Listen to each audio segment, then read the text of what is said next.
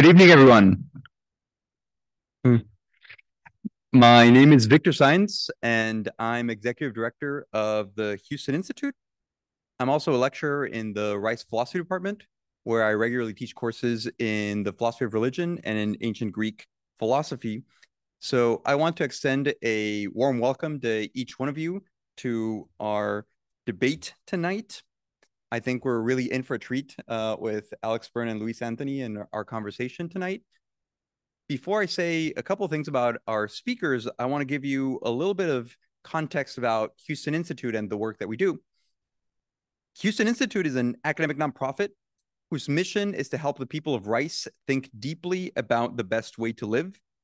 So the goal is to help students become better seekers and speakers of truth though Houston Institute is rooted in the natural law tradition with thinkers like Aristotle and Aquinas at our core, we engage with a range of thinkers and traditions in a fair minded way. Any student interested in serious intellectual engagement in a spirit of friendship is absolutely welcome at our events.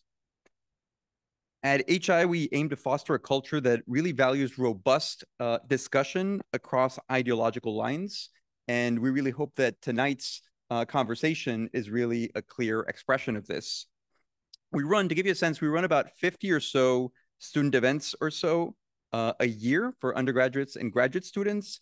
It's usually a lot smaller than this. So it's usually, you know, 14, 50 students over a meal and just having philosophical conversation. But on occasion, we run bigger events like we do tonight, and we try to share some of the work that we do with uh, members of the community so our audience to give you a sense of of the kind of the atmosphere we try to foster at hi is really fairly diverse. So i'm very glad to say that our audience audience spawns uh, spans liberals conservatives catholics protestants jews atheists agnostics and a lot more. So it's really all over the map and in a way that's by design and but what brings everyone together is a commitment to seeking the truth about the most important questions in life. And I think what's true of students in our audience may also be true of the audience here tonight. So tonight we're going to talk about some pretty difficult, challenging topics. And I'm assuming that probably people in this room disagree and some of you pretty sharply about how to think about these topics but I'm confident that we can do this in a way that's robust, respectful, you know, not polemical, uh, but analytical. So, with all that in mind, let me say a couple of things about our speakers tonight. So, uh, first, let me introduce to you uh, Professor Alex Byrne. So, Professor Byrne received his PhD in philosophy from Princeton University. He is a full professor of philosophy in the Department of Linguistics and Philosophy at MIT. His main interests uh, are in the philosophy of mind, especially perception, metaphysics, and epistemology. Also, in the last couple of years, he's been working on issues related to sex and gender. And he has recently finished a book on this topic called Trouble with Gender Sex Facts and Gender Fictions which will be out in the UK in October and later in the US. So some of the work that we'll, we'll be seeing tonight has been the product of uh, Professor Byrne thinking very actively about these questions. Professor uh, Antony uh, received her PhD from Harvard at University and is Professor Emerita at the Philosophy Department at University of Massachusetts Amherst. Professor Antony's work has focused on the qu uh, questions in the philosophy of mind, philosophy of language, and epistemology, and feminist philosophy. She has also most recently been interested in questions in the philosophy of religion. Professor Antony has lectured at colleges and universities across the United States and in many foreign countries. She has also been a guest on the radio show Philosophy Talk and has contributed to the New York Times philosophy blog, The Stone. So I don't think uh, I need to tell you that you're really in for a treat tonight. Um, and something that was really interesting to me and just delightful was that as we were putting this event together, so I'm e- emailing with Alex and uh, trying to plan this conversation. And as I suggest, uh, it's like, hey, why don't we put you in a conversation with Louise Antony? He's like, oh, obviously, she's exactly the person to do this. Uh, so I come to find out, uh, I didn't plan this. I come to find out these are they're actually friends, right? So this this couldn't be more perfect, right, for what we try to do at HI. It's like, hey, we can disagree pretty dramatically about really important things and still uh, retain this friendship that is rooted in the pursuit of truth.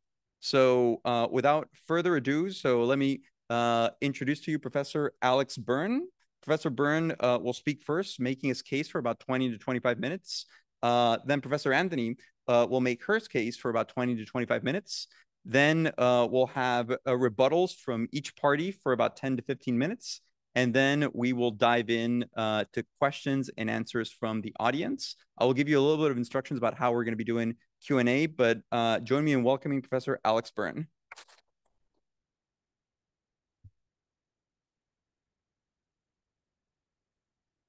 Okay, well, uh, thanks very much, Victor, and thanks to the Houston Institute for inviting me. Um, it was a great introduction, although I can't tell you the number of talks I've been to where the speaker has really been uh, boosted at, at the start in the introduction, this and that honorary degree, and being on this and that radio show, and uh, this and that article in the New York Times, and then the whole thing is just like a total damp squib and a big letdown. So seriously, the the next time I would recommend setting expectations low. really go wrong. Okay, so it's and it's a particular pleasure to share the stage with the um, distinguished philosopher Louise Antony, vastly more distinguished than myself, and as uh, uh, Victor said, I just started thinking about this stuff literally five minutes ago. so the the title of this debate is um, the ontology of gender, which is a rather forbidding phrase, and it um, occurs in an even more forbidding text, Judith Butler's Gender Trouble, which was published in 1990. And here's the, the relevant passage. Uh, you need to read this carefully because there will be a quiz later. no, I'm joking. Luckily, there is no need to read it. I mentioned the title of this debate, The Ontology of Gender, only to point out that the question that, or questions that Louise and I will be trying to answer can be stated quite simply. Um, we don't have to mention the word ontology or even the word gender. I will avoid, avoid the word ontology entirely and mention gender only when I absolutely have to. This event is about the categories uh, woman, man, girl, and boy. And don't get hung up on the word category. It's just a convenient way of talking. So to say that Louise belongs to the category woman is just to say that Louise is a woman. The question we're asking is what does it take to belong to the category woman? Or to put it more plainly, what is a woman? And then similarly, what is a man? What is a girl? What is a boy? Now, uh, clearly, many people think that this question, what is a woman, is very important. After all, you are here. Um, but why? Maybe it's not, um, to borrow uh, Victor's phrasing, one of the one of the most important questions of our of our time. Um, so perhaps it it actually is of no importance uh, whatsoever. So I'm not actually going to say anything about that in my presentation. I don't think Louise is either. So we'll save that for the uh, question period afterwards. Okay, so a bit more background before I turn to explaining and defending my view, some of you will know this book by the French philosopher Simone de Beauvoir, The Second Sex, published in 1949. So this passage is from the introduction. I hesitated a long time before writing a book on woman, that is, womankind. The subject is irritating, especially for women, and it is not new. Enough ink has flowed over the quarrel about feminism. It is now almost over. Let us not talk it. Let, let us not talk about it anymore. See, this is like one of the worst predictions ever made, uh, yet it is still being talked about. And the volumes of idiocies churned out over this past century do not seem to have clarified the problem. Besides, is there a problem? And what is it? I mean, you can tell that she's a philosopher, even though she claimed not to be one. Are there even women in the first place? But first, she says, what is a woman? And more than 70 years later, here we are. So, an answer to Beauvoir's question was given on this billboard in 2018 by a British activist. Never mind why she was motivated to put this up. She cited what was then the Google definition of the word woman, adult human female. And for reasons we needn't go into, um, the Brits have been obsessed with Beauvoir's question even more than the Americans. So here is Keir Starmer, the leader of the UK's opposition Labour Party in April of this year. And we don't have to fixate on the penis, fortunately. What he meant was that only a tiny minority, one in a thousand women, are male. If he thought this was a happy compromise, well, he couldn't guess. He was sadly mistaken. So the Prime Minister of the UK, Rishi Sunak, uh, seized the opportunity 0.1%. Um, so, and in fact, uh, Sir Keir quickly realized that his, he, he, will very likely be the next prime minister. He, he quickly realized that his prospects being prime minister uh, would be greatly improved if he changed his mind. And indeed, as a, a talented politician, it didn't take him long to actually change his mind. And a couple of months later, he endorsed the view on the billboard that a woman is the mature or adult female of our species. And as further confirmation uh, that Sir Keir was wise to change his mind, uh, his uh, headline from UK newspaper, the Daily Telegraph, um, from last month.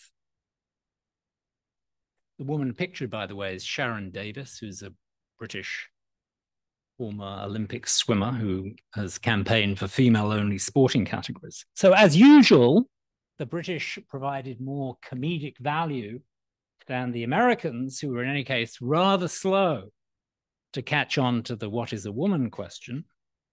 But they did catch up last year with uh, Matt Walsh's documentary, What is a Woman?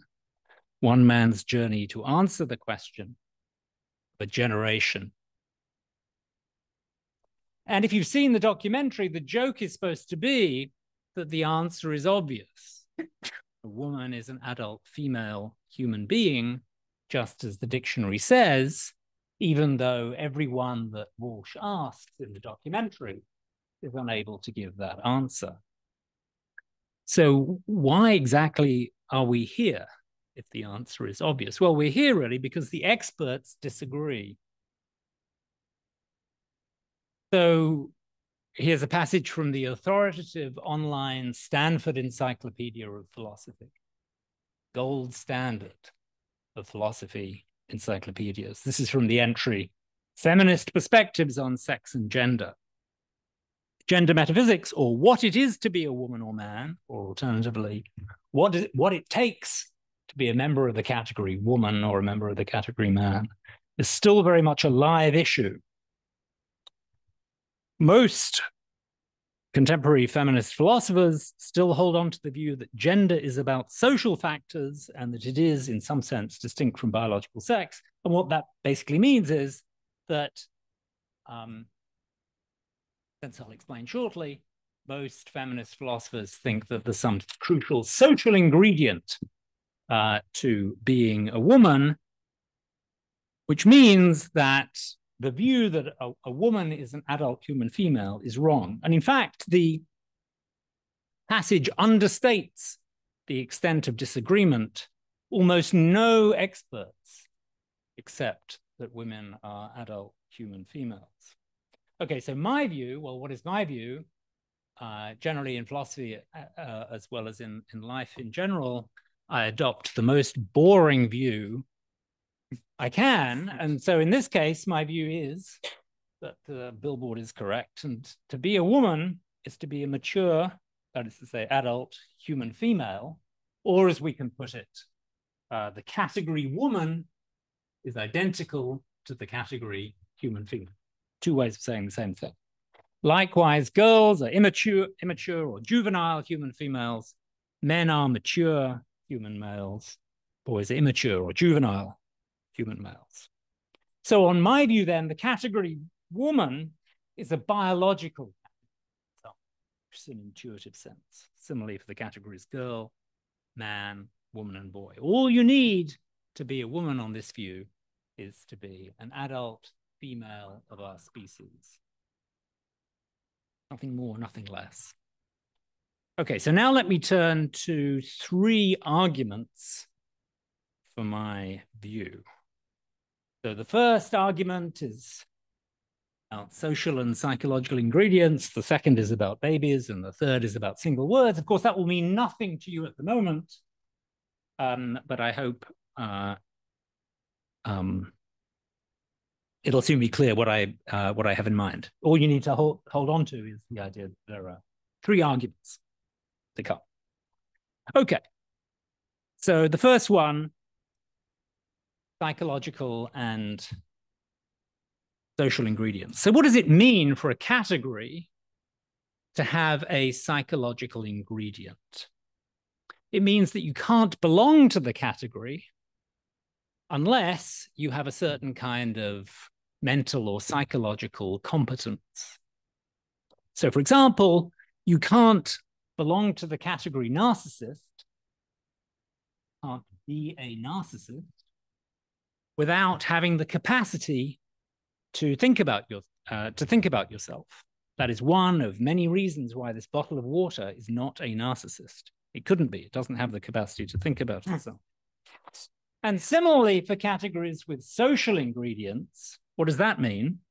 Well, what that means is that you can't belong to the category without being a member of a human like society, a society with a certain kind of sophistication. So, for example, you can't be a police officer or an actor or a politician without being a member of a human like society. In the case of police officer, you can't be a police officer without being a member of a society with a with a legal system.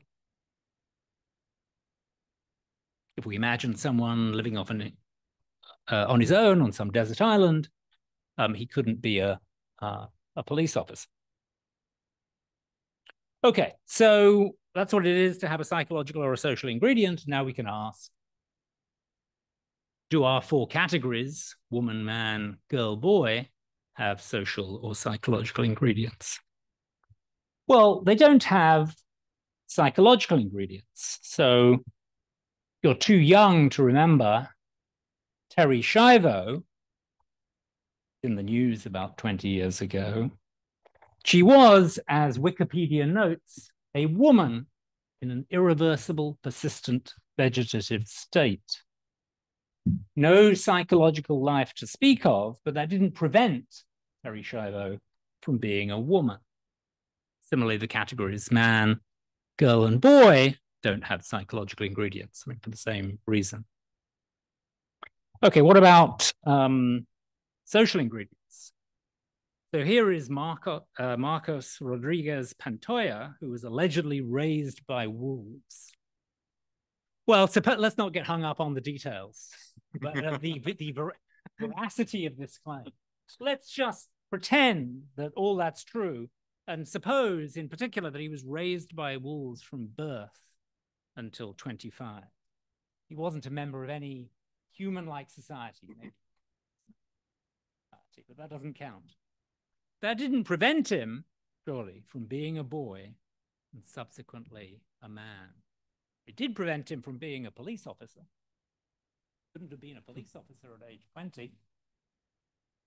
Politician, um, because he was on his own in the company of wolves. But for all that, he was initially a boy and then a man. Okay, so that gives us argument one. Uh, I've just defended the first premise of argument one. There's no social or psychological ingredient to being a woman. Now, if the category woman is not any kind of social or psychological cat category, what is it then? Well, the natural alternative is that it's a biological category, specifically the category adult human female. So that gives us premise two. If there's no social or psychological ingredient to being a woman, then the category woman is the category adult human female. In other words, women just are adult human females. And from those two premises, it follows that the category woman is the category adult human female. And then by parity reasoning, the category man is the category adult human male, and so on. Okay, that was the first argument. Now here's the second argument about babies. Now, sex is all we need to definitively identify human babies as girls or boys.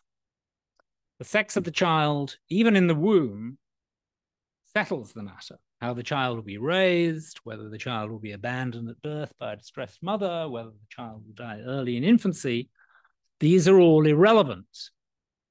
It's female, it's a girl. If it's not female, it's not a girl. So what does that show? Well, not that the category female is the category girl. I have a female cat. She belongs to the category female, but she's not a girl. So what distinguishes the girls from the other females is that the girls, plausibly, are both uh, hu human and juvenile. So if sex is all we need, it's extremely plausible that the category girl is the category juvenile human female. So the category girl is the category juvenile human female. And since one would expect a uniform treatment of our four categories, going to treat girl and boy as biological categories, then it's very plausible that uh, the the adult versions, i.e., woman and man, are biological categories too. It also follows that uh, women are adult human females, and men adult human males. Okay, last argument um, about single words. So this is the plaque on board Pioneer 10, which is the first spacecraft to leave our solar system in 1972. Well, it, the spacecraft was actually launched in 1972. I'm not quite sure when it exited the solar system. So the plaque um, has some basic information about humanity for aliens, designed to be readable by aliens, including where we are. Now, this has always struck me as like the most stupid, reckless thing to do. But, yeah, but um, but anyway, for present purposes, the point is that there's hardly any information on this uh, on this plaque. But one piece of information illustrates the most fundamental division between adult humans, between the females and the males. And for all sorts of reasons, I'm sure you can think of one classifying adults as either males or females is extremely useful. So surely we would expect uh, one, at least one of the roughly 6,000 human languages have a single word for the category adult human female, just one.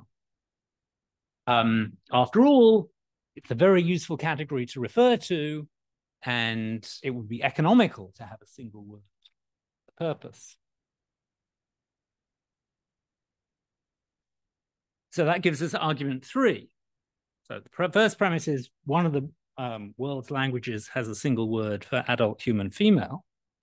And the second premise um, is supported by the linguists who study these things who report that the best candidates for such a word, that is, for such for a single word that refers to the category adult human female, are woman in English and its translations, mujer in Spanish, Frau in German, um, and when uh, Mwanamke, excuse my Swahili pronunciation, in Swahili, Mwanamke.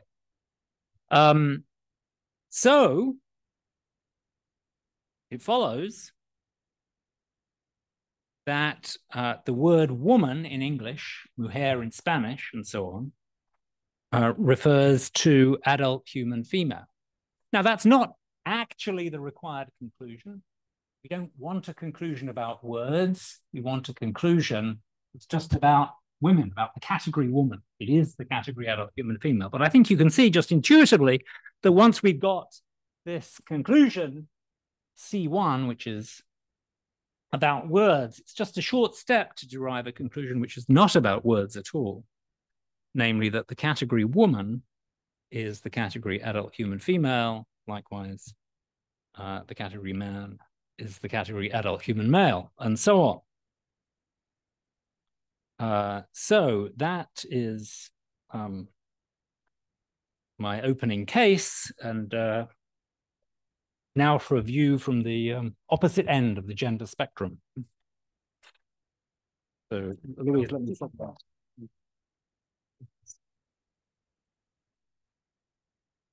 Thank you so much, Alex. So now uh, help me to welcome Professor Louise Antony.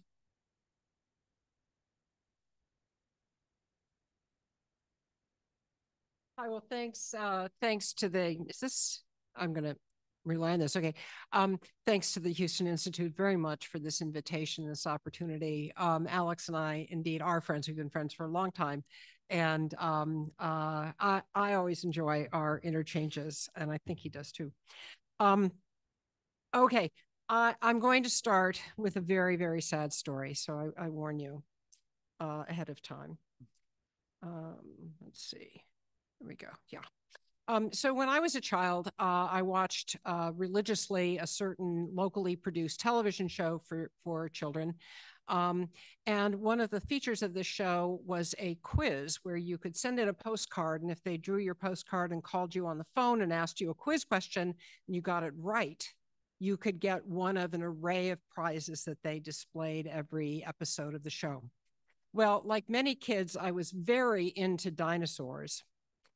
And one of the um, one of the prizes was a model kit. This is most of you don't know about don't know how this worked, but it wasn't Legos. It was little plastic pieces that you had to glue together meticulously and then paint it with a little paintbrush and stuff of a Tyrannosaurus Rex. And I wanted this in the worst way.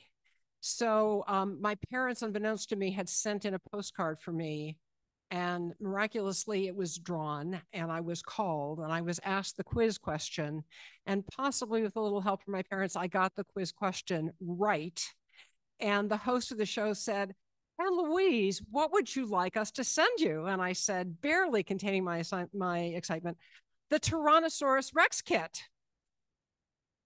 And the host said that's not a good prize for a girl. We're going to send you a shirley temple doll instead. Now, I would love to tell you that I kept the doll, sold it for a fortune to a collector. In fact, I went to look for it, I couldn't find it. So this is just a picture of the of the inferior Shirley Temple doll. Now, what's my point? My point is that this is what gender is about.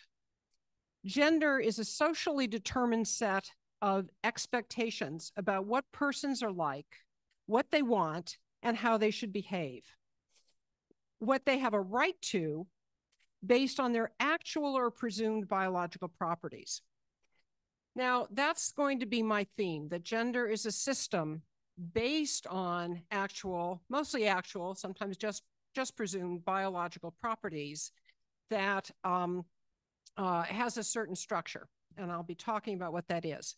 But I want to start by drawing an analogy with another word and another social property that's related to a biological property in the way I think gender is related to sex. Okay, now I'm going to assume that you all know where babies come from. Spoiler alert, a sperm uh, fertilizes uh, an egg. Um, and the sperm is produced by, uh, at least uh, given current technology, everything's changing so rapidly, uh, comes from the testes of a man, and the ovum comes from the ovaries of a woman. Um, yes, I know what I did, Alex. Uh, um, and this is a biological process. This whole reproduction thing is a biological process, though, of course, now it is subject to various kinds of artificial, that is, human determined manipulation. I'm going to introduce the weird term progenitor. Well, it, it is a term of English, but it's not one that we use very much. But I want to use it in a uh, in a particular sense. a progenitor, as I want to use it uh, today, uh, is an individual who contributes a sperm or an ovum to the conception of a human being. Uh, this is a biological property. Being a progenitor is a biological property. It's a matter of a biological uh, relation. And it's determined by biological law. As things stand, you need a sperm and an ovum to produce a baby. There is cloning, so that's not exactly true, but um, the whole uh, unfolding of conception is um, a matter of biology. And it's a human universal. This is what biological reproduction is across uh, cultures, across time and space.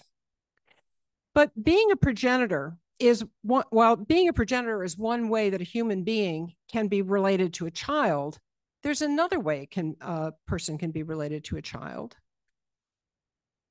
And that is by being a parent. So what is it to be a parent? Um, this is not quite a definition, but a characterization of what it is to be a parent. Uh, roughly, an a parent is an individual responsible for the well-being of a child. It generally involves the following elements: loving the child, providing materially for the child, protecting the child, and it's a social property. And by that I mean it's determined by social practices surrounding the rearing of children. Uh, this is often defined by law or by custom, well understood custom. It's culturally variable. And it's a cluster property. And I'll explain exactly what I mean by a cluster property a bit later. Now, I contend that the biological property of being a progenitor is not the same property as the property of being a parent, or to use category terms, uh, the properties that put you into the category of progenitor are not the same properties as the property that puts you into the category of being a parent. Most progenitors are parents, but not all. So sperm donors, ovum donors are not generally regarded as the parents of the child that results from uh, their, their uh, donation. Uh, there are also progenitors who give up custody or who have never actually assumed custody or who have custody taken away. Um, conversely, most parents are progenitors, but not all. Adoptive parents are not progenitors of the children they adopt. And the relatives of progenitors who assume responsibility for those children are often not uh, our, our parents. Um, that can be disputed. I've uh, my informal survey of asking my husband what he thinks uh, yielded uh, an indeterminate result. So um, maybe people don't think that the relative that a that an aunt or uncle who takes over responsibility uh, for a child, uh, stable responsibility for a child, durable responsibility is, is should be classified as a parent. Okay, so what's the analogy? I want to make the same distinction between being male or female, having a certain sex, and being a man or a woman, having a certain gender. I want to draw the same distinction there that I draw between being a progenitor and being a parent. So, being a female and being a male are biological properties. It's a matter of uh, genetics, hormonal structure, organs, bodily form, and it's a robust human dimorphism. And here I disagree with a lot of, uh, with, with quite a few um, uh, feminist philosophers. I think that um, it really uh, has to be said that this is basically um, a bifurcation of the human species. Um, roughly 90, uh, sorry, um, uh, no no fewer than 90% of human beings are unambiguously male or female. There are intersex conditions. I'd be happy to um, uh, share what little I know about that uh, with you, and Alex knows a great deal about that as well. But I think that um, it has to be conceded that it's a very, very ro robust division in the in the human population. But being a woman, being a man, I contend are social properties. Um, what goes into being a man or a woman? Well, a division of social labor, different norms of appearance and of behavior and of occupation uh, for uh, men and women. That is, different expectations about uh, how you look, how you behave, what kinds of things you do. And often these, uh, these, these divisions are codified in law or custom. And again, we've got a cluster property, which again, I, I promise to explain. Um, finally, it's culturally variable what goes into being a woman or being a man in different cultures. In many cultures, um, uh, women do agricultural work, in other cultures, they do not. Um, in some cultures, women are responsible for growing uh, some kinds of crops, uh, men are responsible for growing others, and so forth. Okay, so finally, what's a cluster property? Um, a cluster property is a property that underlies or organizes a cluster of other properties. It can be a biological property like sex, or it can be a social property like parenthood or gender. So parent is a cluster property. As I said, being a parent always involves having responsibility for the well-being of a child. It doesn't always entail carrying out that responsibility. Um, but beyond that, the specific properties that are considered to be um, uh, uh, key or important to parenthood vary with culture. Uh, so there are different conceptions of what uh, appropriate modes of discipline are, different views of the span of childhood, how long someone is a child before they be, are regarded as mature, uh, different views of parental responsibility, uh, different views of reciprocal duties between parent and child, uh, different views of the roles, respectively, of mother and father, and different views about how much hands-on care a parent provides. So I have in mind here the case of nannies who are generally not regarded as parents, even though they might do a great deal of the hands-on care. Um, all of these different things, the conceptions of appropriate discipline, et cetera, et cetera, are bound together by common beliefs and customs and laws in some cases, that is by the intentions and the intentional behavior of social beings. And by intentional behavior, I mean behavior that has content, beliefs, desires, attitudes. Uh, that is, it's bound together by the mental states and the intentions of social beings, us. So women and men, man are also cluster properties, I contend. There are differential social roles assigned on the basis of presumed biological natures. Uh, there are different norms of appearance, behavior, occupation, but they always involve for women responsibility for care work and for household maintenance. I think that this is de facto a universal fact about gender organization across human societies. Also, um, I think they essential, sorry, I think that they um, robustly involve hierarchy. Women are generally socially subordinated and have been in nearly every human culture uh, that we know about. Um, more uh, controversially, um, many feminist theorists argue that uh, to be a woman is to be sexually objectified, to be regarded as a being that exists for the sake of the sexual pleasure of men or the sexual satisfaction of men. Um, there is cultural variability with respect to norms of appearance, permissible occupations, and the nature of dominance relations. And again, these, these properties are bound together, can be bound together by law, um, but are generally bound together by custom, but also by false beliefs. What's the false belief? Well, the false belief is in something called biological determinism, which is the view that the properties that make up gender roles in a specific culture are somehow determined by biological sex. So, for example, uh, the view that women should be responsible for all caring labor, which includes not just care of children, but care of the elderly, care of, of the sick. Um, many people have the view that women should be responsible for caring labor because, as females, they mostly can conceive, gestate, give birth to, and nurse children. Uh, another example that women's having a female nature is what explains their occupying the social role that they do.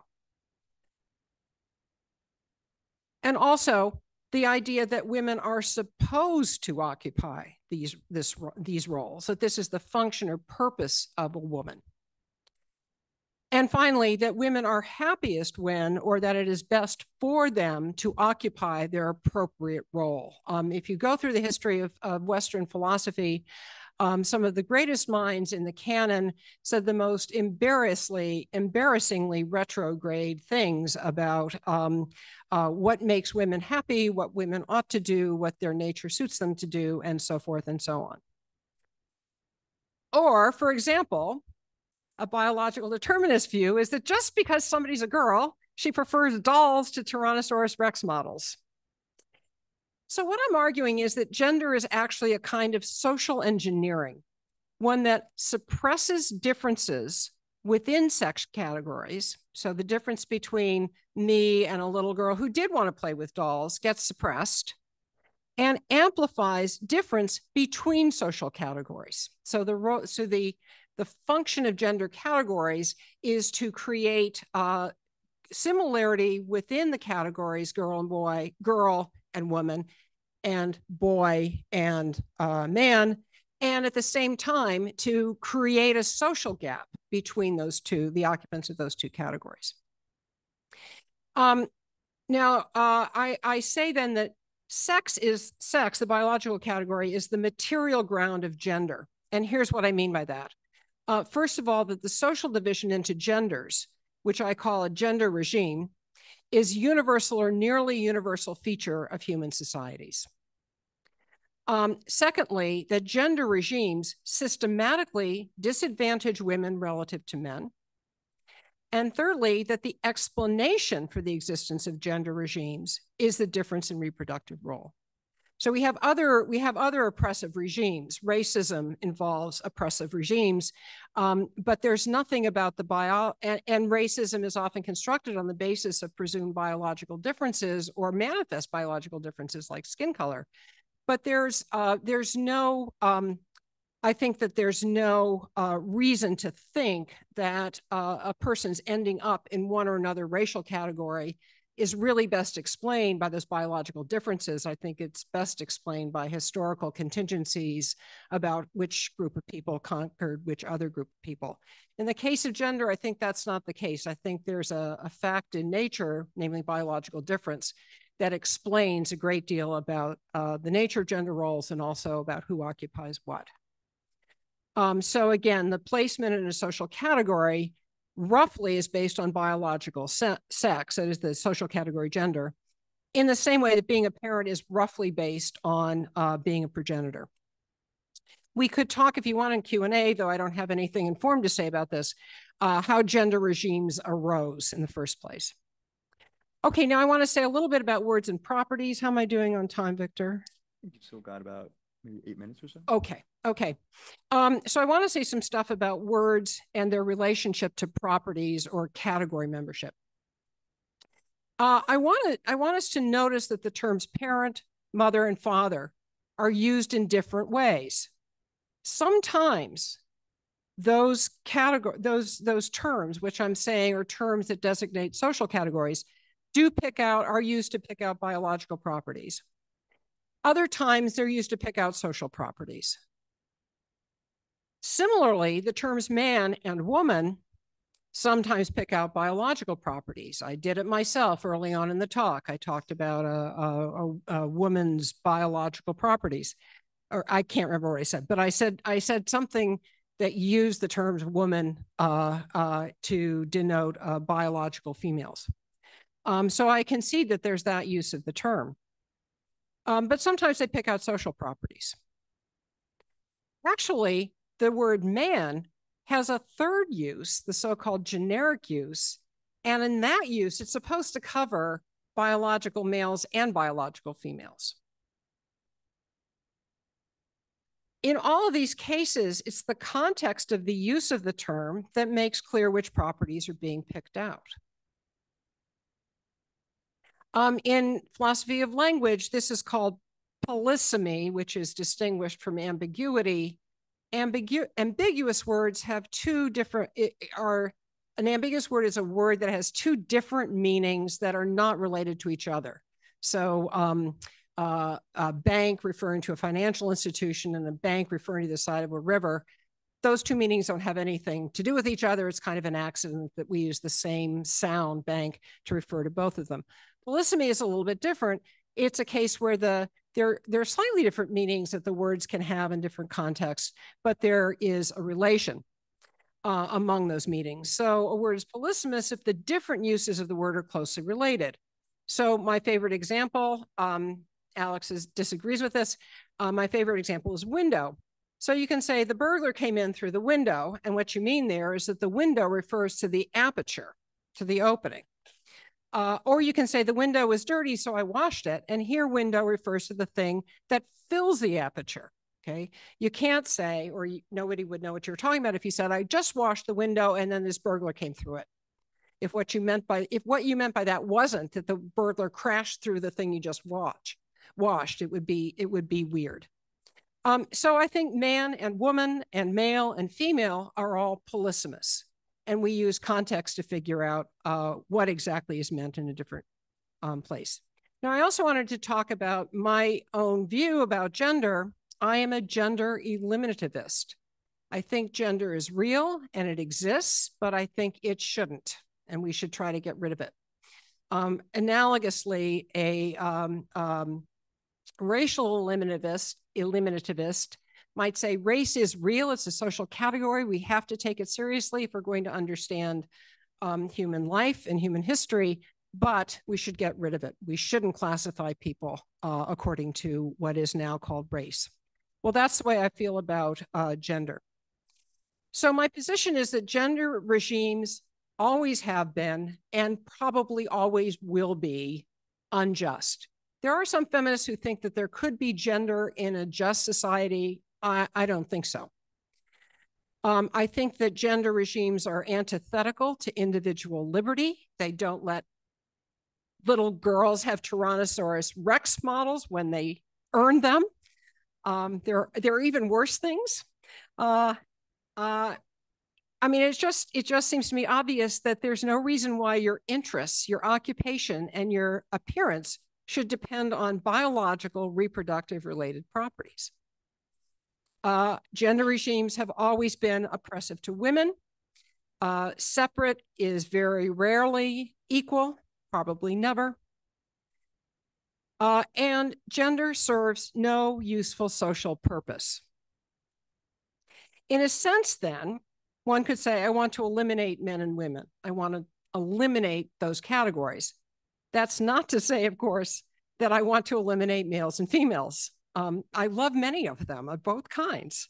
Um, I want them to still be here, but I don't want them to have to be categorized as men and women. The challenge is, as with all matters of biological difference, how to organize the social world so that biological difference doesn't create social disadvantage. Now, just to finish some clarifications, I'm not saying that the properties that constitute maleness and femaleness are immutable. Obviously, human beings can change their internal organs, they can change their hormonal structures, and they can change their bodily form, just like they can and do change all sorts of other natural properties. I put natural in quotes because sometimes the natural is contrasted with the social, but because I think human beings have our natural beings. We we are part of the natural world. Our minds are part of the natural world, and so I think the the social groupings and the social properties that we create are also part of the natural world. But um, by if by natural you mean things that are not affected by um, human um, uh, thought processes and and um, desires are not determined by those things.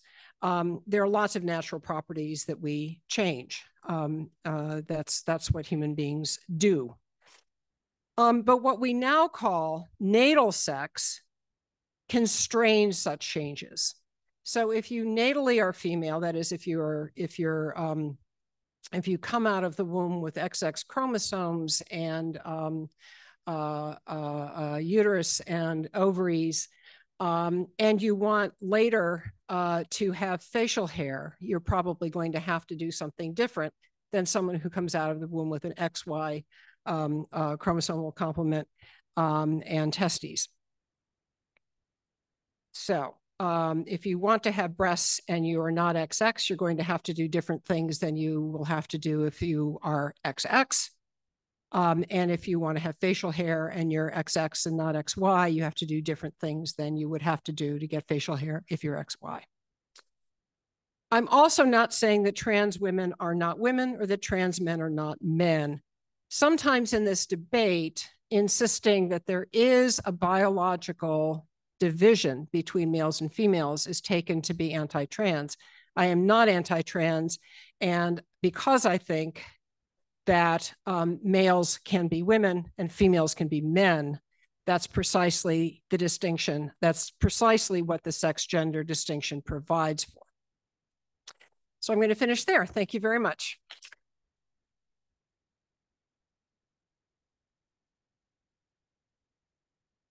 So Alex, you'll have about uh, 10 to 15 minutes for your reply.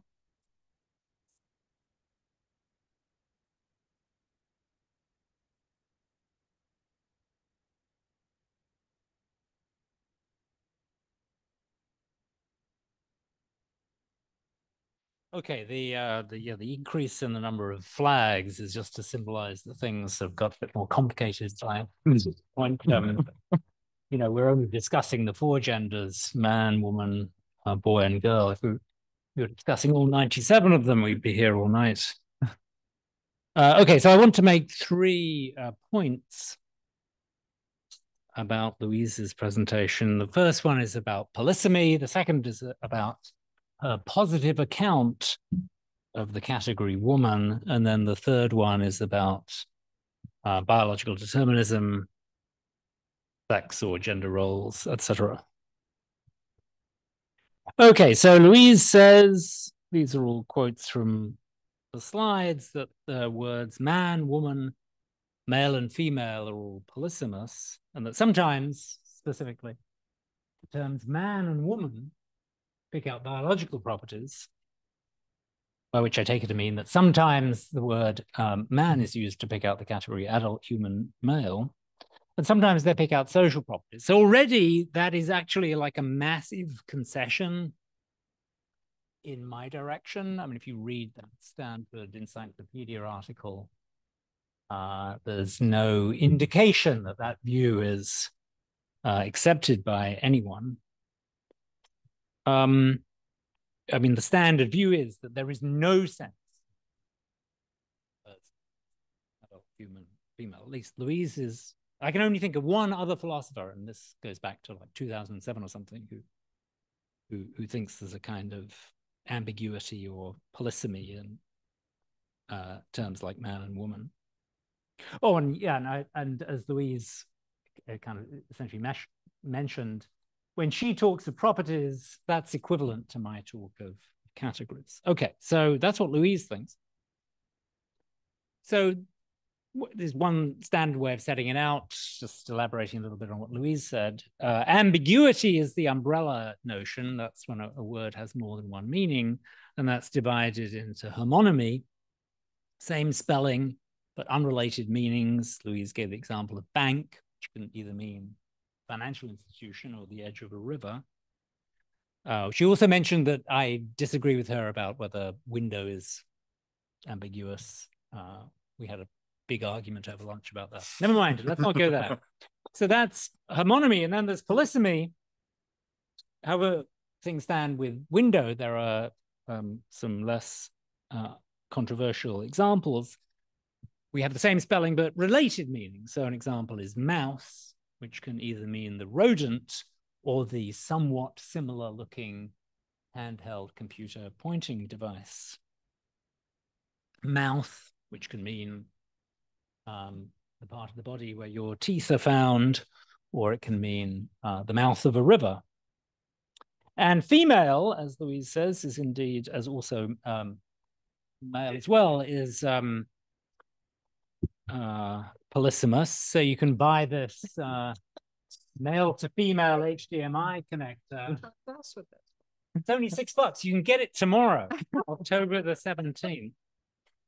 And of course, these meeting these meanings are related because there is a somewhat abstract similarity between the um, the male and female connectors. And well, let's not go into the details. We can we can talk. Yes, rather vulgar. So my the, the important point is that ambiguity in either form is easy to spot. So suppose that neither the financial sense of bank or the edge of a river sense is salient, and that Louise says, I went to the bank yesterday, then I uh, would be it would be perfectly understandable for me to say, well, what do you mean? Do you mean you went to Bank of America, or do you mean uh, were in Texas. Uh, I you know, that I she went to the uh, bank of the Colorado River. Um, another. This is an example of uh, polysemy. Um, another kind of example is where you use a word once in a sentence where um, it must have two meanings for the sentence to make sense. And so the whole sentence sounds very weird. So if you say I fed my mouse and connected it to the desktop, then you know the appropriate response is no. What on earth is what on earth is going on here? That can't be right. Did you? What do you mean? Okay, so it's not as if ambiguity in either form, homonymy or, or, or polysemy, mm-hmm. is you know undetectable or only detectable under the microscope.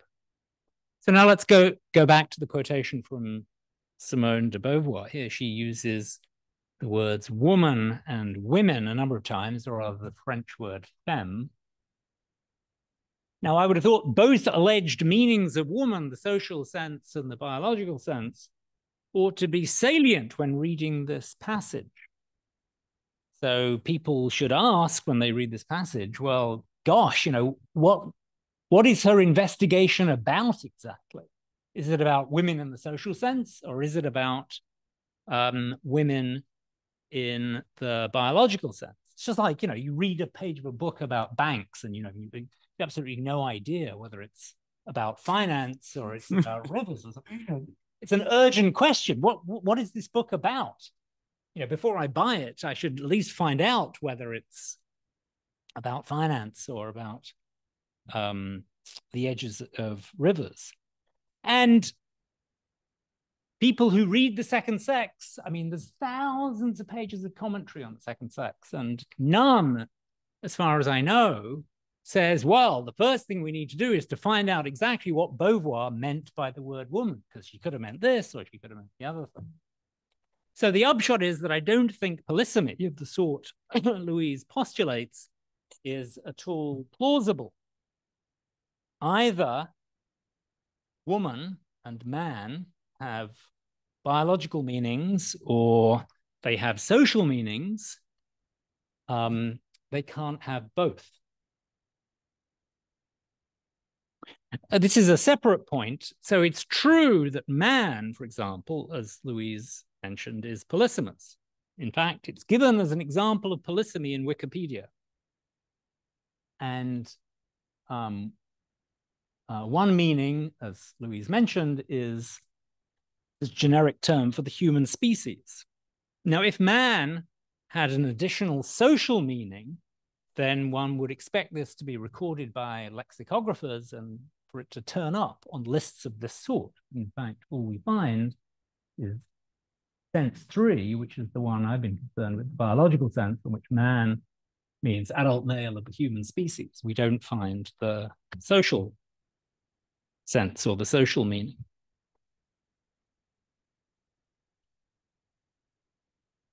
Okay, so that's what I have to say about um, uh, about polysemy.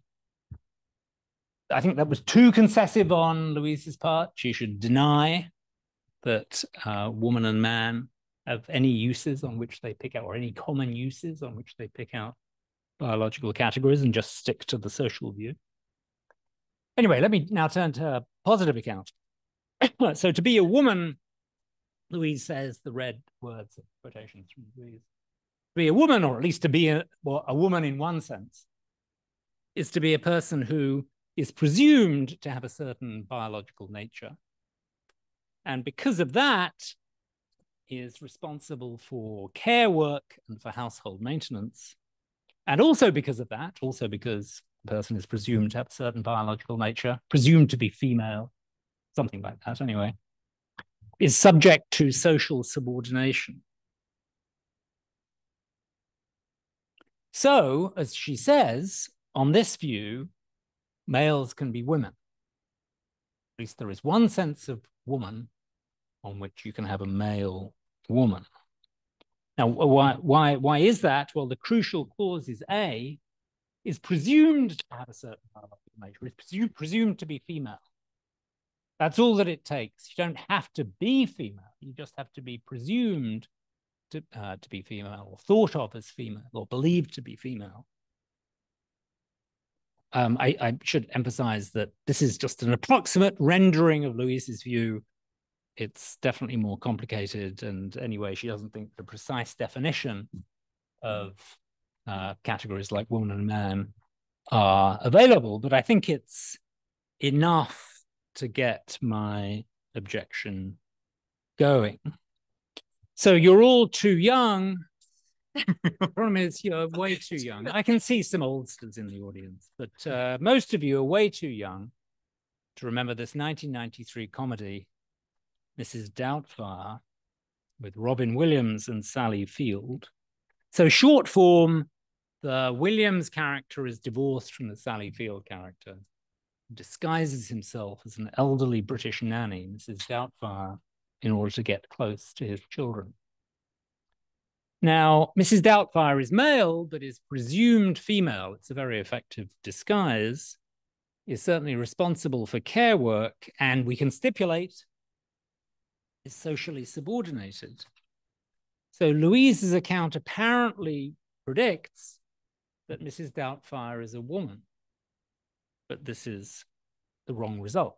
There is no sense of woman Doubtfire is a woman. Mrs. Doubtfire is simply a man impersonating very effectively a woman. Okay, so finally, uh, biological determinism, sex roles, and so on. So suppose this is not to disagree with anything Louise said at the end about biological determinism. It's just to make clear that there's no tension between what Louise said and the biological view. So suppose that the category girl is the category juvenile human female. So being a girl is entirely a biological matter. Does that mean that girls should play with dolls rather than dinosaurs, or that they would be happier if they played with dolls rather than dinosaurs, or anything like that?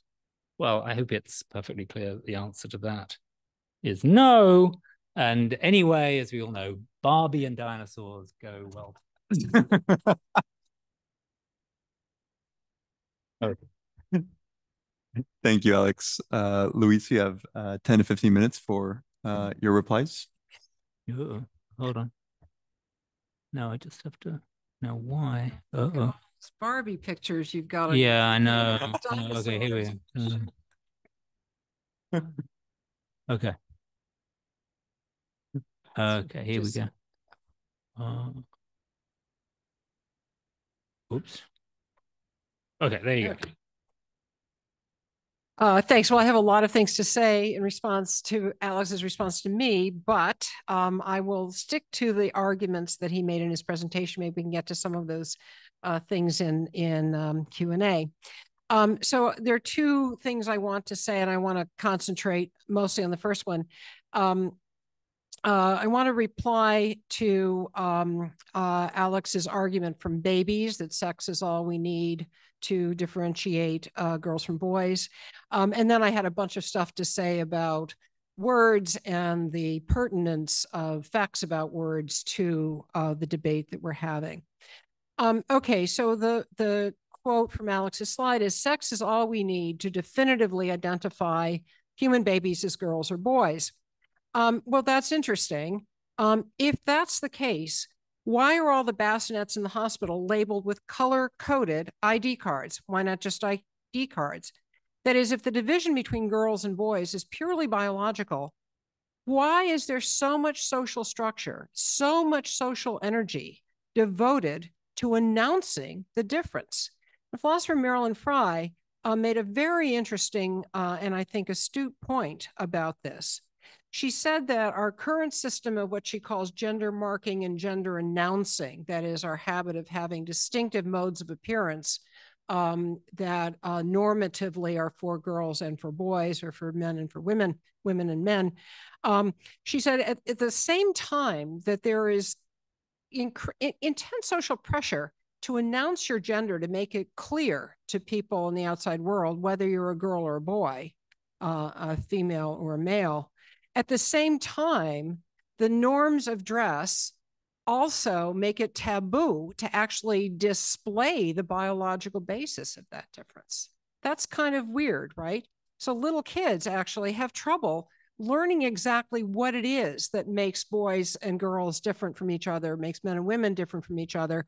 Um, uh, the son of uh, psychologist Sandra Bem uh, speculated that uh, the difference was that boys drink tea and girls drink coffee because that's the way it was in their house. I mean, girl, kids have to actually figure this out unless they're explicitly told about the biological basis. Very funny story about Sandra Bem's son that we could do if you ask me.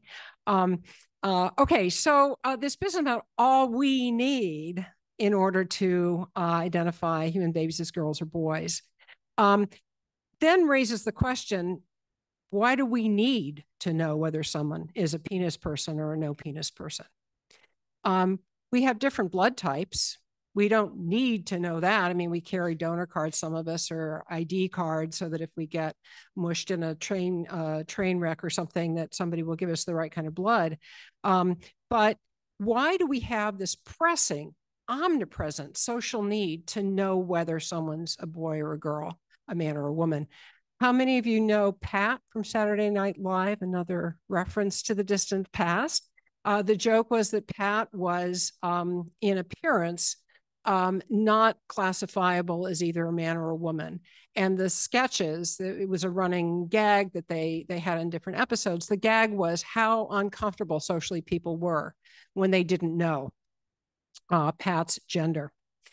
Um, compare skin color and race skin color being the biological property and race being the social property, the, diff- the biological difference between the color of people's skins only matters if you're in a race conscious society, if you're in a society that says it's socially important what that biological property is. I contend that it's only because we are in societies uh, that have gender regimes that say it's important to know whether you're dealing with a girl or a boy, um, a man or a woman. Okay, so switching to words. Um, I think the study of the lexicons of human language is really fascinating, uh, but I don't think it's of much value to this debate. Um, so Alex said, surely there'll be a human language that has a single lexical, uh, a simple lexical entry that means adult human uh, female, and indeed it does, it's woman. Well, I think that there are a lot of questions you could ask about what sorts of uh, concepts or what sorts of properties should be lexicalized, that is, should have corresponding to them a, a, a simple word um, that uh, where your expectations might be thwarted. So, for example, few, if any, natural languages um, my extensive research Googling this question um, yielded the following result that few, if any, natural languages have any single common word that means human being. In English, the closest we have to that is the so called generic man. Um, we also lack generic terms for individuals of certain animal species. Oops. Um, so let's look at terms for animals. Um, one pattern is you have a term for the male, a term for the female, and a generic term. So you've got boar and sow for pig, buck and doe for deer. I won't go through all of these. Um, but we have bull and cow for members of the species, um, uh, uh, uh, what's it called, Bos taurus. Um, but we don't have a, a, word for a single individual of, of that species. And it's the same thing with man and woman. Um, the closest that you can get are things like in German, you've got the term Mensch, um, but that has strong uh, connotations of, of, of, referring to men.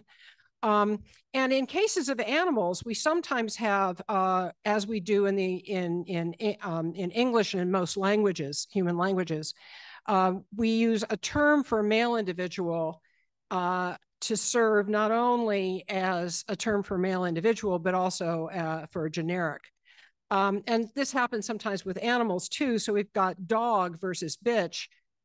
One meaning of dog is a male um, uh, canid, domestic canid, um, but it also has come to mean uh, a member of that species. Uh, peacock versus peahen.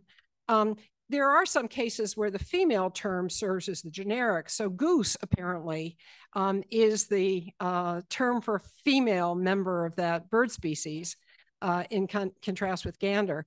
And then cow is the closest thing that we have to um, a term for um, an, un, uh, an individual of um, that species uh, where the gender isn't specified. Um, some other stuff. Uh, we we uh, find that gender sex terminology for animals um, I say gender sex terminology for animals. We don't really have gender, we don't really impute gender to animals, but anyways, gender sex terminology for animals um, very often clearly reflects human interests. And I'm, so I'm bringing this up to make the point that what we choose to have words for uh, is often a matter not just of the nature of things, but also of our interest in the nature of things. So there are a whole bunch of terms for animals that are based on re reproductive capacities or reproductive activity. So there are many uh, terms for castrated male animals. There's gelding for horse, ox for cattle. If they're if the cattle are used for draft, I thought an ox was a separate species. It's not. Uh, if the cattle is used for meat, then a castrated male is called a steer capon for chicken, wether for sheep, and barrow for pig. Didn't know those words were there. Um, and then a term for an animal, a female animal who's given birth is sow. And I have an asterisk by sow because it's not, as I originally thought, just the name for any female pig. Uh, it, it, has, among among people who know their pigs, uh, you have to, the female animal has to have given birth in order to be a sow. Um, there are also terms for animals, female animals that have not given birth. So a pig that has not, female pig that has not given birth is a gilt, and a female um, member of the cattle species that has not given birth is a uh, heifer. Um, so I'm going to stop there, and I hope that some of the, uh, I'll have an opportunity to respond to some of the things that Alex brought up in his reply to me, and he probably feels the same about my reply to him. So thanks again.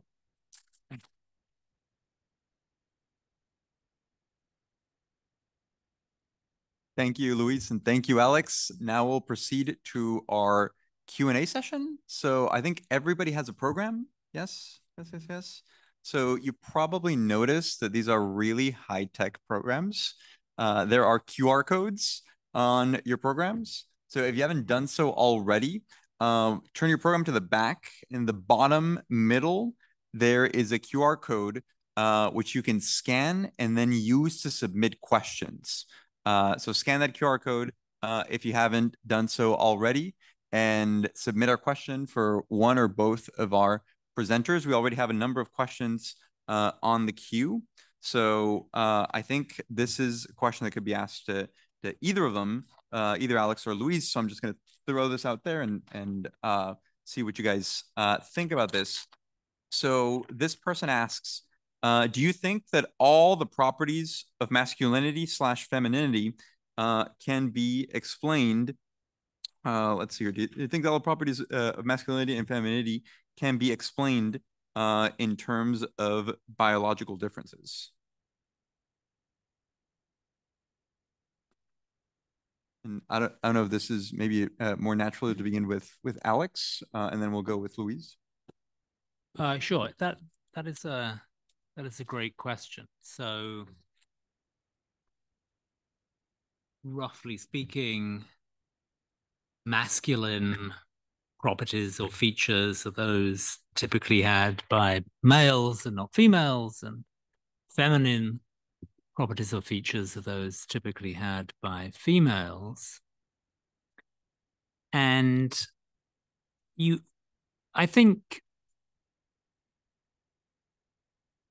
as a uh, as a good second wave feminist, Louise tends to think that. Um, well, I'll say what I think. Uh, Thank you. I'm sorry. Go I was ahead. just going to mansplain on your behalf. it's fine. I'm used to it. Okay, well, some say, some good old fashioned second wave feminists might think that many of um, the traits associated with with with masculinity say you know ambition aggression um, and the traits associated with femininity like uh, being caring or nurturing or passive or something like that um, are um, don't have their roots in biological differences between between males and females.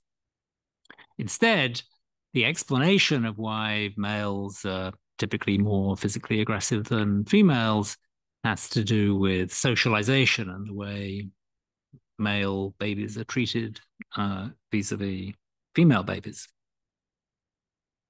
Um, so that's what that's one issue. I mean, what can be said straight away, I think, is that uh, some uh, masculine properties or or or features or some feminine properties or, or features are thoroughly due to um, social contingent social influences. So in this society, women tend to wear um, certain clothing, and men tend to wear other kind other kinds of clothing. That's a, a masculine feminine difference in appearance, but it's not explained by biology. And in you know some other some other countries do things do things quite differently.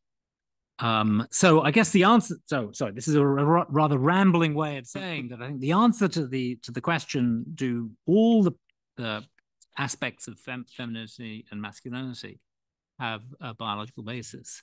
Is is no, but uh, but some surely do.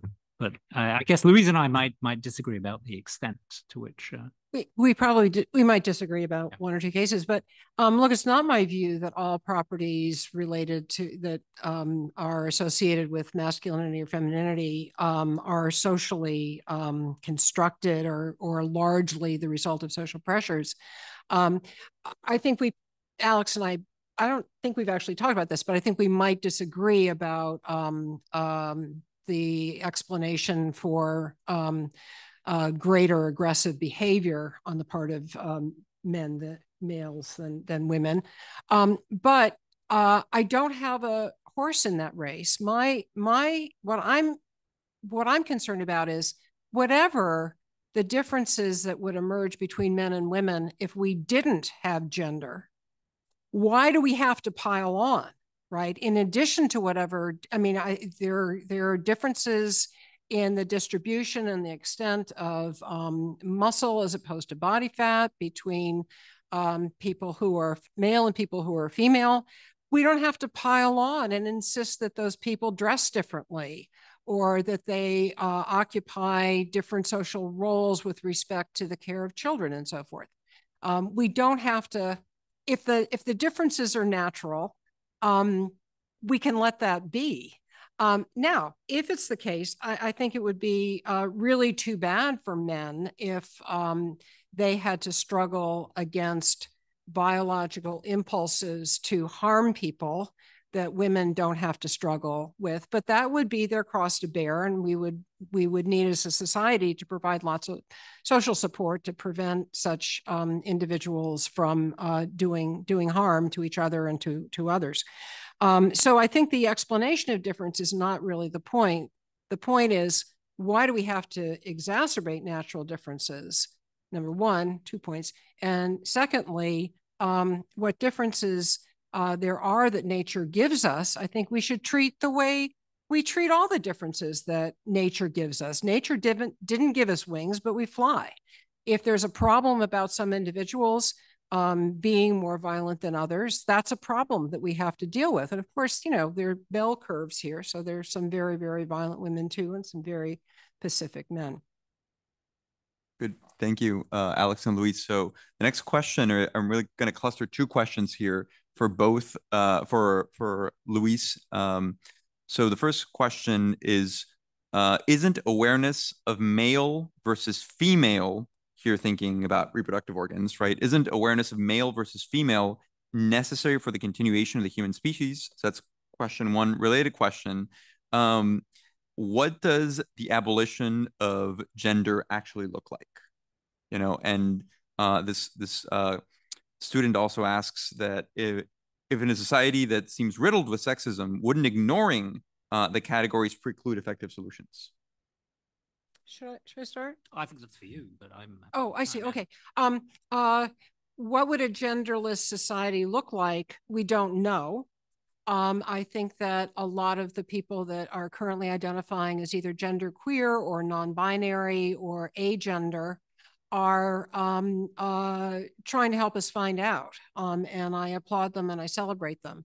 As far as the necessity of taking account of gender when we want to um, understand human human history and understand our current situation, yes, we very much do, um, which is why I made the distinction, I think I was not very clear about this, between the view that gender exists, gender is real, it's an actual um, um, mode of uh, social organization that has had huge effects on the way human society has been organized and the way human beings conduct our, our social business.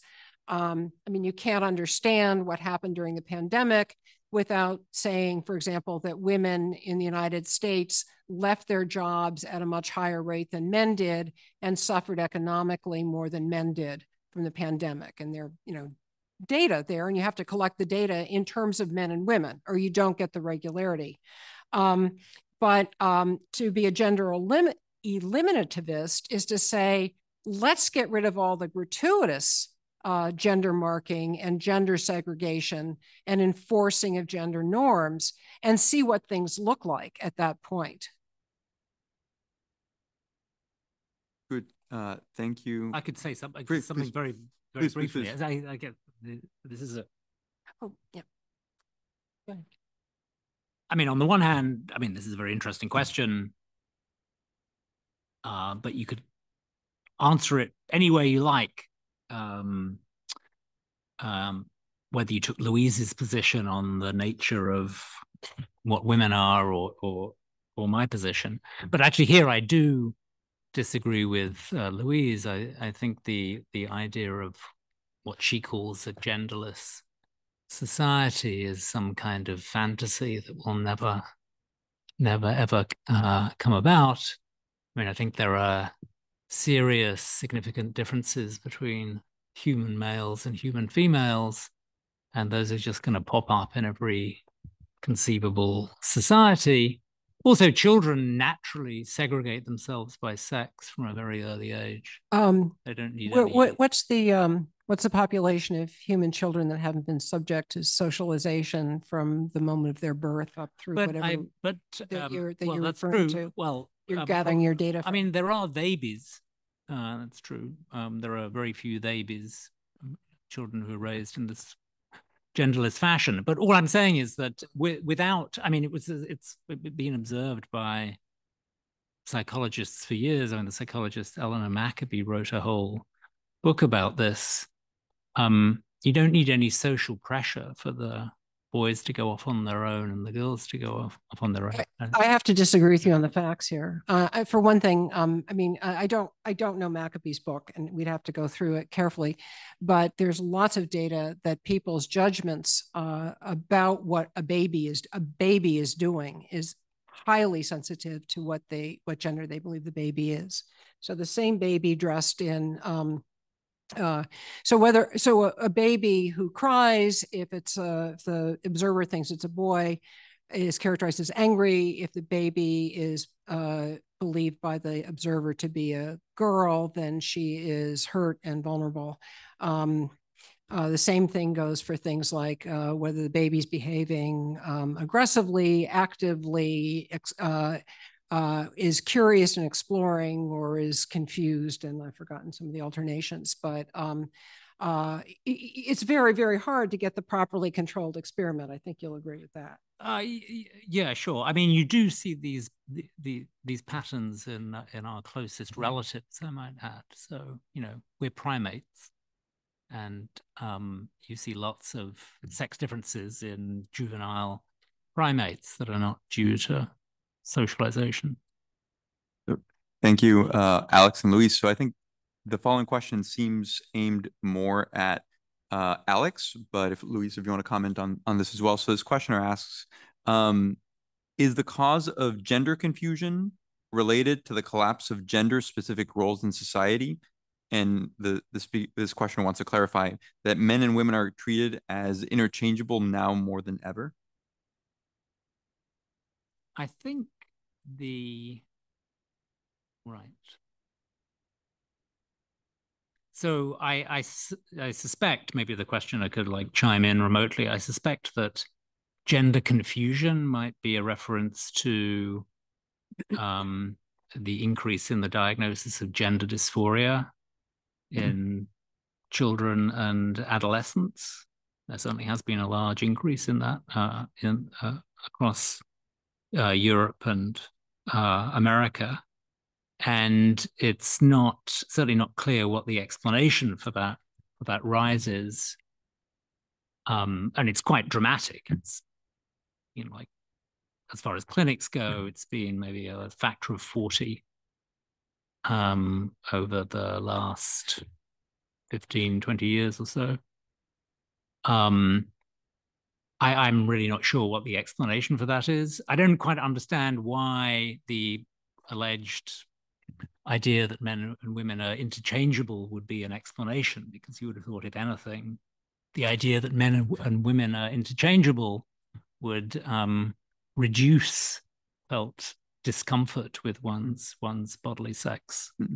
Um, so indeed, one one one might expect that in Louise's hypothetical genderless society, um, there would be a lot less discomfort with um, yeah. with, with with one's bodily sex. I will say something that um, I I um, uh, I'm I am not at all qualified to speak about gender dysphoria. Um, I mean, I've done I've done reading and tried to be responsible in um, paying attention to data when I could. Um, but one statistic, and Alex, tell me if this is your understanding too, is that there are great many more um, individuals who are natally female wanting to transition either to a non-binary identity or um, uh, identity as a boy than uh, the reverse. And some of the statistics I've seen are about 75% of, uh, I see some nods, so I guess other people have seen this data too. This concerns me a lot because I'm very worried that especially young adolescent um, individuals who are natively girls just don't want to be subject to the things they're subject to if they if they undergo female puberty and that would be a very terrible thing so a, not rather than gender becoming more fluid um, i am very concerned that at least for some individuals uh, uh, who are natally female there is um, flight from the very significant challenges our society poses for a person who develops breasts and begins to menstruate. So I just register that as a concern that I have. Yeah, that's right. Uh, that, that's that's my understanding as well. So the the um the classic uh, presentations of gender dysphoria uh, were either early onset, like very young children, usually most mostly males feeling uh, or expressing discomfort with their sexed bodies and classification as as boys, or else late onset, uh, where m- mostly males would would transition, uh, sometimes quite quite quite late in life, um, and then recently there seems to have been a new clinical phenomenon which is controversially been labeled, I'm sure many people have heard it, controversially labeled rapid onset gender dysphoria. This is labeled by the physician Lisa Littman in a paper published in 2018, I think, which was very controversial. Anyway, this new phenomenon whereby um, adolescent females with no prior history of gender dysphoria suddenly develop discomfort with their sexed bodies. And that's um, that's largely responsible, I think, for the for the rise in uh, diagnoses in in clinics. And yeah, it's um, I mean, given that we're talking about serious, potentially serious medical interventions, the um, uh, the giving of uh, puberty blockers um, to halt uh, puberty later down the line, uh, hormonal treatments or or surgeries which can impair or just destroy fertility and have other health issues. And ideally, all things being equal, I would have thought you know you want to avoid uh, going anywhere near a, a, hospital or a surgeon if you possibly can. Um, so that's I think concerning. Can, can I just say too that my own I'm kind of in despair about all of this because I think there are serious questions about uh, the, the, the matters that Alex was raising, uh, about safety, about uh, the ability of a 10 or 11 year old to make decisions that are going to have major effects on a number of important aspects of their lives. Um, and it pains me deeply that this debate has become so politicized. And I don't think it's a, uh, the left and the right are equally responsible. I think it's the right, and I think they are cynically exploiting the issue um, uh, for political reasons. And this is not something that that that can be or should be um, hashed out in the uh, uh, in state legislatures by politicians. And I think that the the highly politicized character that this that, that, that these issues have been given um, is working to the to the very severe detriment of of um, thousands, possibly millions of children and parents um, and and friends uh, who are who are involved in the making of these decisions. And I think it's it's shameful and it should just stop. Thank you. This next questioner asks, and this is for, um, I guess it could be for both, for either of them. Uh, does the idea of someone uh, making a gender transition to better align with their internal sense of self, doesn't that ultimately serve to bol uh, bolster gender roles or stereotypes? Let me go. Uh, sure. Um, this is a common feminist criticism. So you, yeah. Um, yeah, I do think that if gender roles didn't exist, um, I absolutely don't know from the inside what it is to have a gender identity in the sense in which many trans people talk about having a gender identity. I can say as a child, you saw from my very, very sad story that I didn't always conform to the expectations about um, that were sort of um, had of me um, in virtue of being uh, female. Um, one of the ones I had the hardest time with was that girls aren't supposed to argue with people. You forget that. Um, that's why I found philosophy, fortunately. But uh, um, uh, I'm sorry, I lost my place. Um, I, I don't think I have a robust gender identity in the sense that um, uh, many people talk about having a gender identity. So I'm not sure from the inside what it means. Um, I, I have two uh, children who are uh, now grown. Um, my son's 40, but I was 12 years old when I had him. Um, so I'm not that old. Don't think I'm that old. Um, and um, our general parenting uh, strategy was to let the kids do basically whatever they wanted. So um, my son um, wore pink clothes and sequins and painted his fingernails and so forth, but there never seemed to be uh, any sense that he had that he wasn't a boy.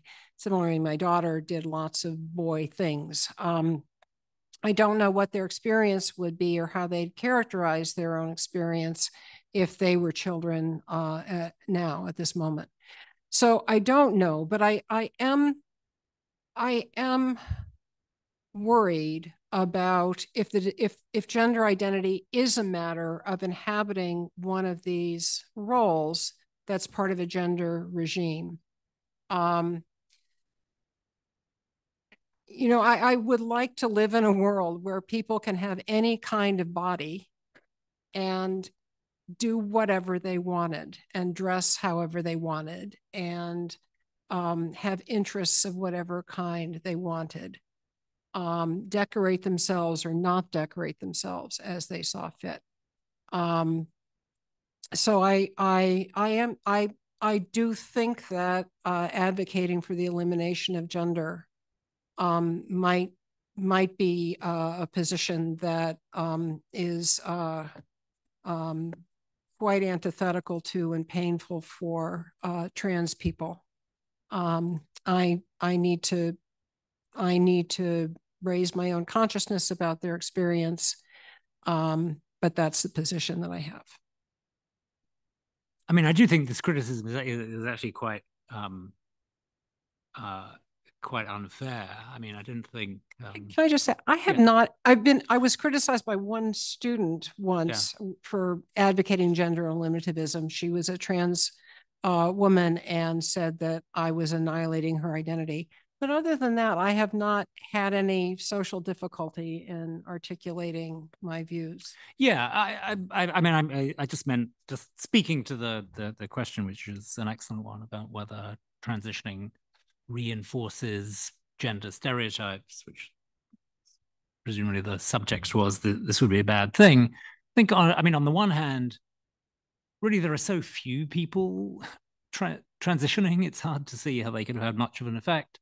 And then if you just think about some particular cases, like the trans man Elliot Page, it's most implausible that uh, Elliot Page is doing his part to reinforce pernicious stereotypes of of masculinity. And even if you take someone on the other side, the trans woman Laverne Cox, yeah, sure, she's pretty feminine and so on, but just like no more overtly or stereotypically feminine than than any other actress. So I I think trans people are getting a bad rap on this uh, on this score.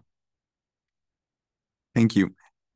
So this is a question for um, Alex. Uh, let's see here. I think I lost. Oh, here we go.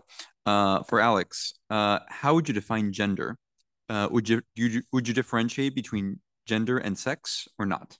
Okay, that is an excellent question. This is one of my, uh, my one of my big hobby horses, and um, I have uh, it, it it.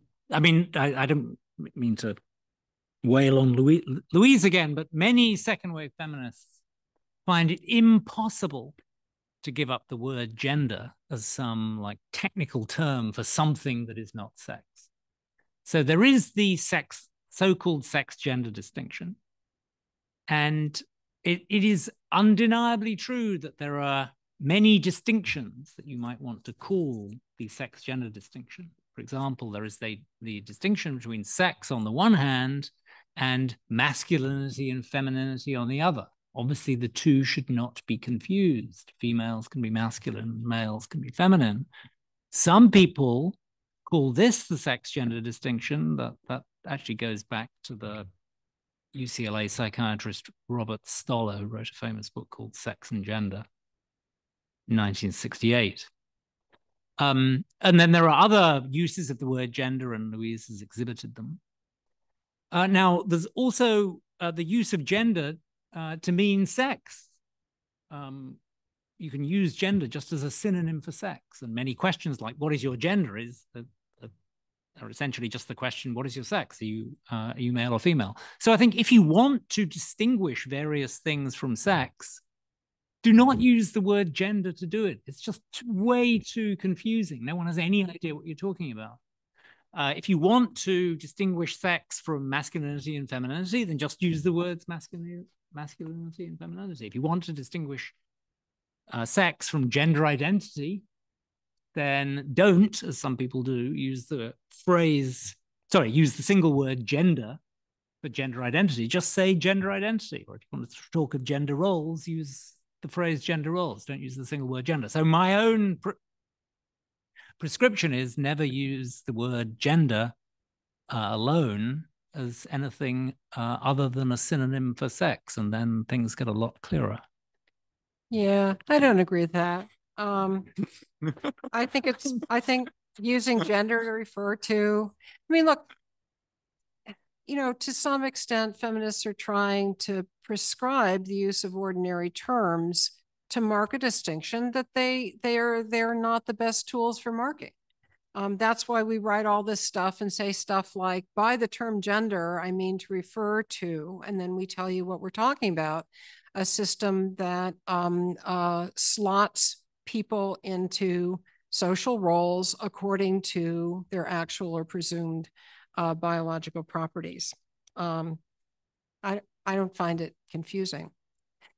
Can, I, I mean, I know we're running. Yeah, yeah, yeah. I, I wanted to ask you just one thing. Yeah, yeah. Well, but you wanted to ask me one thing. Oh, oh well, I wanted to complain about your criterion of polysemy.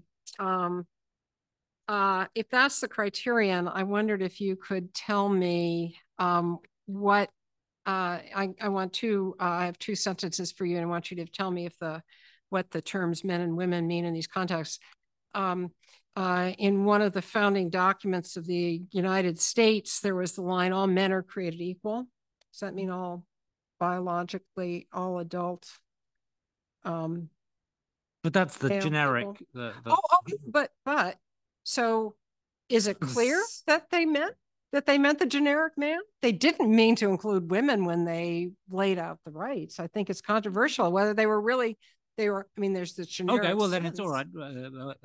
Uh, uh, uh but so, okay, I defer okay, so to your constitu- I defer to your constitutional scholarship. Then I always thought oh, that all men. I thought I always thought that all men are created equal. That was the, the, the, oh, oh, oh no, that's what we're told. That's what we're told. We're told that it's generic. But I mean, if you look at if you look at um, philosophers like Locke and Hume and Kant and well, Aristotle used Greek words inconveniently, but um, but uh, um, uh, Locke and, and Kant used German. Oh my God, don't get me started. Um, but uh, if you look at their use of the uh, of the word man, if they're speaking English, or the um, um, uh, the words in their language that that play the same linguistic role, um, you'll you'll hear you'll hear it said that when Aristotle talked about man being a rational animal, he was talking about all human beings. He's using generic sense. But then when you look at the details, it turns out that he thinks that women don't have the same um, person making capacities that men do. So what's he mean? Men generically or men specifically? But that's not the best one. Um, in the opening line of book two of The Second Sex by Simone de Beauvoir, yes. um, I don't know how many pages into the 895 page volume it is, uh, there's I mean, I just line. I ever read I only read the introduction. Okay. well, you ought to get to book two. Um, the opening line is one is not born but becomes a woman. Hmm. Does context make clear what she's talking about? Uh yes. Okay. Um, she, she's I, I mean, I think that Simone de Beauvoir, who said on a number of occasions when she was asked, What is a woman? This is not in the book, but uh, she replied, a woman is a human being with a certain physiology. Take it to mean essentially a woman is an adult human female. That was her. Well, okay, I think then, that was her then, view, and okay. then I think one is. But then, what the, does she mean when she said? I'm I'm addressing yeah. the the um, criterion of polysemy that you advanced, which was that the uh, um, it's always clear which sense is being used. And I'm claiming it's not always clear. Well, I I, I deny that there is this other sense, but but what uh, does but, she mean then by one is not born but becomes because what she means what just mean you don't grow. No, no, no. Uh, right. No, that's right. I mean, I think I think what she means, and it's clear if you read the uh, the rest the rest of that quotation about no economic or blah blah blah destiny. So you did. Uh, yeah.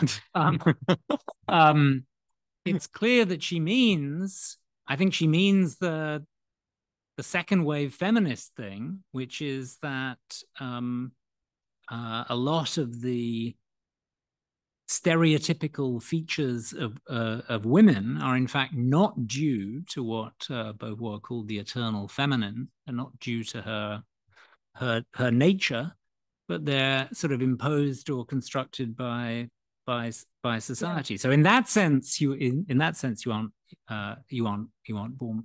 But, born, but born woman. You're not born. You you are not destined to grow up to be a stereotypical, uh, passive, nurturing, caring, unambitious woman. Well, I think okay. I think she she also might mean that to be a woman is to have your social life constructed in a certain way.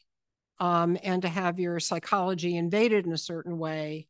Um, that is to uh, to become a woman is to come to occupy a socially specified Yeah. role. I, I mean, I, I, I absolutely concede that some people, in fact, including Judith Butler, have read that passage in in exactly that way. Can I? Can I? Uh, go on. Can I just ask you about uh, Mrs. Doubtfire? Yeah. Okay, so okay. Spoiler alert: Mrs. Doubtfire wasn't a woman. She was a man who was pretending to be a woman. There's no pretending to occupy a social role is not the same thing as occupying a social role. but she, but I thought Mrs. Doubtfire met your criteria for uh, for for being a woman. So she was presumed. It's not like up to me whether whether people presume that. I'm male or or Occupying the social role is the important thing, and occupying the social role means, among other things, being subject to certain norms, be having certain conditionals be true of you. So, um, if Mrs. Doubt, if a woman um, was, um, uh, if if Mrs. Doubtfire was a woman, um, then uh, she wouldn't um, she wouldn't be taking care to make sure that nobody saw her applying her prostheses and makeup. She was pretending. There was pretense. You can pretend to.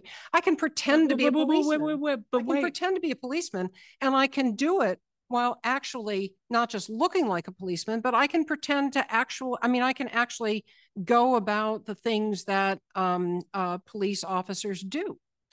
But it's pretense. But take, but suppose,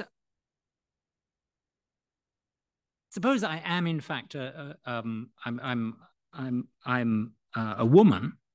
Surely you would, you, you, this, this should be possible on your view. Um, I'm a woman, um, but I really don't look very much like a woman at all. well, Um, I have sort Wait, of, I, uh, I have a very flat chest. I have a masculine face. Maybe I have polycystic ovarian syndrome. So I, so I have uh, facial hair. Um, and so I, um, in the privacy of my own home, apply various prosthe- prostheses and whatnot, so I can more convincingly appear as a woman. um, What? I Well, mean, that that's might- obviously that might be a woman. I mean, many women. Yeah, I know, oh, but- women have to do an awful lot of stuff to to look like women. That's not. That's well. not So does issue. Mrs. Doubtfire. Right, right. Um, but she's. Oh, but just imagine, or, or do oh, you- imagine let's the go no back Sorry, sorry. you- Um, no, go ahead. You go ahead. Well, I mean, imagine that it, it's not. So we're not talking about like some trans person, but Im- imagine that um, Robin Williams, you know, took method acting to the extreme and had facial Yeah. feminization surgery and and breast implants and even you know suppressed his testosterone and took estrogen and whatever just to really get into the role right he wouldn't be a woman Um, because why? oh you think he would be No, I'm just asking you what your basis is for saying that he's not. Well, I, I would have thought, um, because he still has his penis. no, let's not get hung up on penises or Oh. genitals. I mean, you know, Well, I mean, I mean, there is, I mean, boys can be born without penises. It's like Yes. genital absence of Okay, penis. But, but, But- but what is it that makes him not a woman on, that you think is so obvious? Well, I, I, I would have thought that, um, I mean, as you were just saying, um, if if if I disguise myself as a woman, uh, like the um, Scarlet Pimpernel, um, sorry, none of you know about that, but um, if I disguise myself as uh, as a woman, well, then I just have disguised myself as a woman. I'm just a man, like as it were, In pretending of- pretending to be a woman. Now, of course, disguises can be more or less extreme or you know um, permanent, and so surely it doesn't make any difference whether whether I have a bit of surgery or something, as opposed to just having like the Well- fake boobs. Why why don't I get some real ones? Well, I mean, that's not going to make any I'm, difference. I'm trying to, to, to get you to say what is the appearance reality distinction here. I mean, if Mrs. Doubtfire, if the character, so the character wants to get back with his ex-wife and be in the lives of Yeah. his children. So he disguises himself Yeah. as a Yeah. as a nanny. Um, um, but suppose he just said, "I'm going to go for it. I'm going to become a woman." Okay. right? So part of the difference would be his intention, right? In I want to inhabit this social role fully and completely, But as that, opposed to just saying, I want to pretend to inhabit it for this limited purpose. okay, that wasn't on your slide, but I mean, surely you don't want to say that if someone just has um, a kind of art project of it's- sort of performance art. Yeah. I, I I'm going to be a woman as uh, uh, as um, or at any rate, I'm going to get as close as I possibly can to being a woman. It's not. I don't have gender dysphoria or anything like that. I don't think I have some misaligned gender identity or whatever. I'm just one of these, you know, performance artists who like who likes to. Um, you know, put nails uh, through his tongue or turn myself into a lizard man or something like that. I, uh, if I did all that, I wouldn't. I, I, I would be a woman on your view. I would literally be a woman. So, uh, Louise, could I give you a chance to reply? Sorry, we I'm might, sorry, we might need to. Um, there. By the way, there's a lot of great questions in the Q and A, and it's like we could probably go for another hour. But, uh, but but please, so uh, you're good. Yeah. I'm- Okay. Yeah. Good, good, good, good. Uh, no, so it, it's it's um, this has been awesome. It's great. Uh, it's really great to to be able to have have this conversation uh with both of you. Uh, as I often tell my students, time flies when you're philosophizing. So uh, it's uh just about that time. So before uh we close, just I got a couple uh couple of items.